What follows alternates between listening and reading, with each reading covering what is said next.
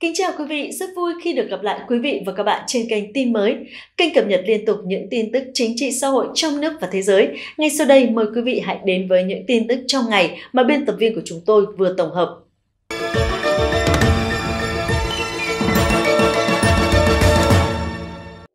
Bản tin lũ lụt Trung Quốc mới nhất ngày 3 tháng 10 năm 2023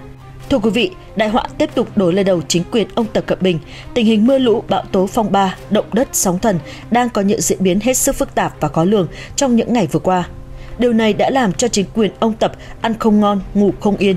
Ngày mùng 2 tháng 10, chính phủ của Bắc Kinh đã bất ngờ phát lệnh sơ tán toàn bộ 400 triệu dân của thành phố như Thượng Hải, Quảng Đông, Quảng Tây, Thâm Quyến, Hồ Bắc, Vũ Hán và Thứ Xuyên – vì những nơi này dính liên tiếp 3 trận động đất dữ dội nối tiếp nhau xảy ra dưới lòng đất với tâm trấn chỉ cách con đập Tam Hiệp khoảng 31 km. Và ngày 2 tháng 10, một con đê bao cỡ lớn ở sông Dương Tử bất ngờ bị vỡ khiến cho tất cả các khu vực nằm quanh tuyến đê bao kể trên bị nhấn chìm trong biển nước lệnh sơ tán ngay trong đêm đã được phát ra và toàn bộ 15 triệu người dân sống quanh vùng hạ lưu con đập Tam Hiệp cũng như con sông Dương Tử đã phải di chuyển gấp trong đêm lên những đỉnh núi cao hoặc lên khu vực Vạn Lý Trường Thành để tránh trú.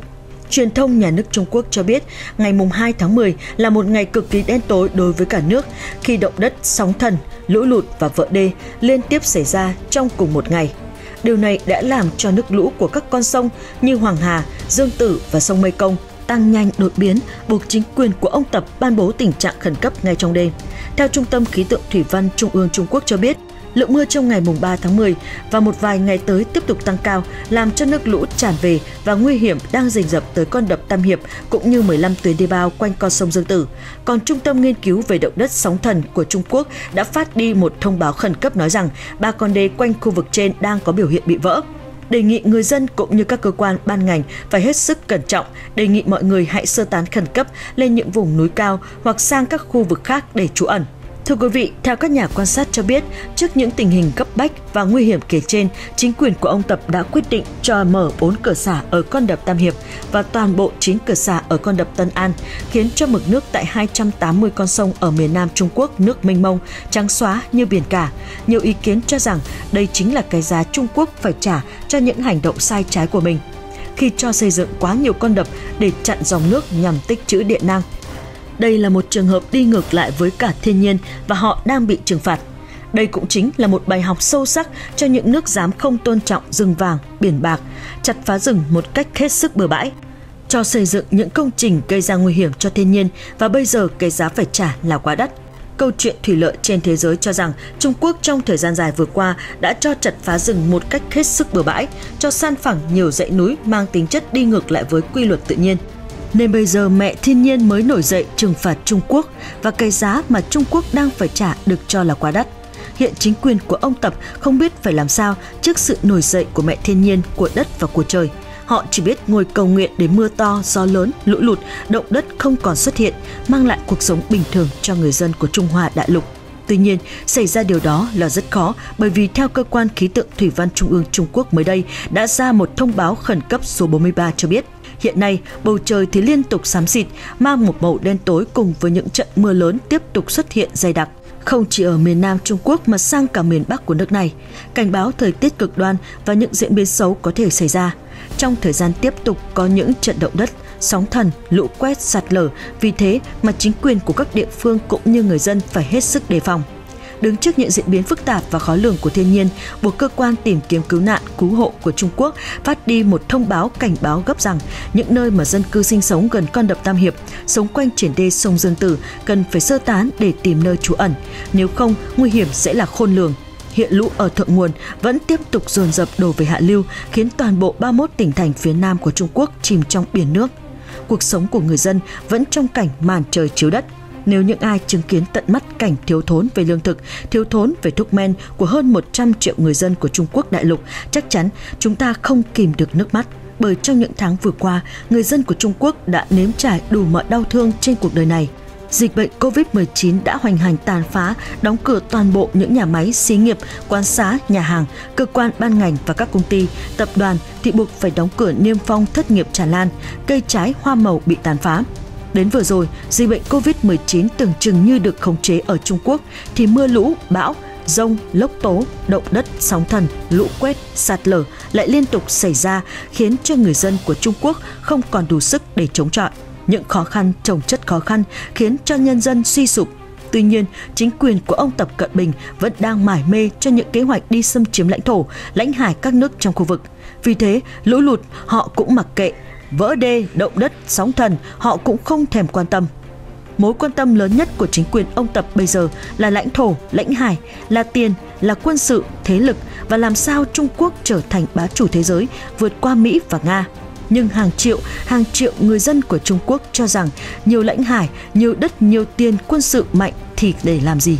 Trong khi dịch bệnh và lũ lụt đang càn quét thì chính quyền của ông Tập lại không quan tâm và lo lắng. Điều này đã khiến cho hơn 1,4 tỷ người dân của Trung Quốc đang uất hận và phẫn nộ chính quyền của ông ta. Họ đang muốn người đứng đầu đất nước Trung Quốc phải từ chức bởi vì chỉ có như vậy đất nước của Trung Quốc mới được bình yên và khiến thế giới mới được yên bình.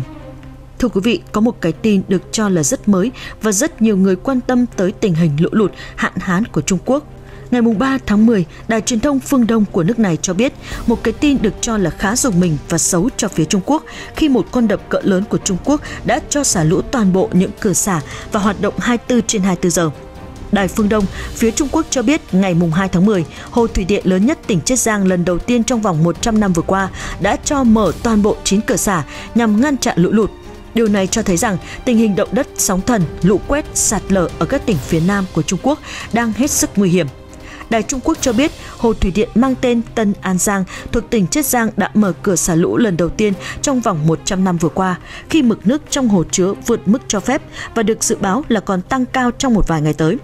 Hồ thủy điện Tân An Giang ở phía đông tỉnh Chiết Giang là dự án kiểm soát lũ quan trọng ở thượng nguồn sông Tiền Đường đã mở cửa xả lũ khi tình hình mưa lũ ở Trung Quốc tiếp tục có những diễn biến hết sức phức tạp và khó lường. Hồ thủy điện Tân An Giang còn được gọi là Hồ Quan Giao hay còn gọi là Hồ Thiên Đảo, nằm ở thượng nguồn sông Tiền Đường, con sông lớn nhất tỉnh Chiết Giang, được biết đến với mức thủy chiều cao nhất trên thế giới. Theo tờ báo Tân Hoa Xã của Trung Quốc cho biết, tính đến 19 giờ tối ngày 2 tháng 10, mực nước ở hồ Tân An Giang đã đạt mức 108,5 mét vượt mức dự trữ cho phép và mực nước trong hồ được dự báo sẽ còn tăng hơn nữa do mực nước lớn, lũ ở thượng nguồn đổ về trong một vài ngày tới. Lũ lụt ở thượng nguồn tỉnh An Huy, mực nước ở hồ tăng nhanh và vượt mức cho phép. Tờ báo của Trung Quốc còn trích dẫn lời của ông Ren, giám đốc con đập này cho biết Dự báo thời tiết cho thấy mưa lớn sẽ kéo dài ở khu vực xung quanh hồ chứa lên tới 10 ngày tiếp theo. Nguy cơ lũ lụt ngay cả khi nhà máy thủy điện chạy hết công suất. Vì vậy, chúng tôi đã quyết định mở toàn bộ cửa xả để ngăn chặn lũ. Thưa quý vị, hồ thủy điện Tân An Giang là một trong những hồ thủy điện lớn thứ ba của Trung Quốc sau con đập Tam Hiệp và nó được xây dựng từ những năm 1959 từ đó cho tới nay, con đập đã có ít nhất 7 lần mở toàn bộ các cửa xả, lần gần nhất mở cửa xả vào năm 2011. Theo tờ báo China Morning Post cho biết, hồ thủy điện Tân An Giang có chiều dài 466 m, cao 108 m, công suất 845 MW. Đây là đập thủy điện đầu tiên được xây dựng ở Trung Quốc với chiều cao hơn 100 m. Thưa quý vị, theo Trung tâm Khí tượng Thủy văn của Mỹ, của Nga, của Nhật Bản, chuyên theo dõi những hình ảnh qua vệ tinh về mưa lũ, rông lốc, bão, ở khu vực châu Á Thái Bình Dương cho biết tình hình mưa lũ tại Trung Quốc vẫn tiếp tục xấu trong một vài ngày tới, đặc biệt là giữa cuối tháng 7 và đầu tháng 8, tăng áp lực lớn cho các hồ chứa nước. Thế mà tỷ lệ vỡ đập, vỡ đê lên tới 95% và nếu như lượng mưa lớn không chấm dứt trong một vài ngày tới thì an nguy tới con đập Tam Hiệp là không thể tránh khỏi.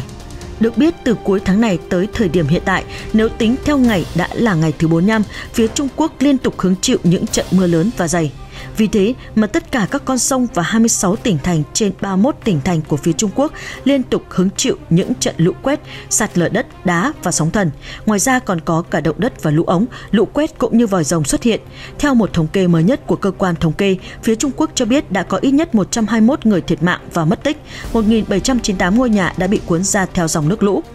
Rất nhiều ô tô, xe buýt, nồi cơm điện, tủ lạnh, tivi cũng đã bị cuốn theo dòng nước lũ. Thiệt hại ban đầu được ước tính khoảng 1.000 tỷ đô la và đây là một con số quá lớn. Chính quyền của ông Tập Cận Bình không thể ngờ được rằng sự nổi dậy của mẹ thiên nhiên, của đất và của trời lại tàn phá nặng nề đến như vậy ngày mùng 3 tháng 10, Đài truyền hình Trung ương Trung Quốc CCTV trong một bản tin về dự báo thời tiết cho biết mưa lũ và động đất, sóng thần sẽ tiếp tục tái diễn tại 28 tỉnh thành của phía Trung Quốc đề nghị các cơ quan, ban ngành và người dân phải hết sức cẩn trọng.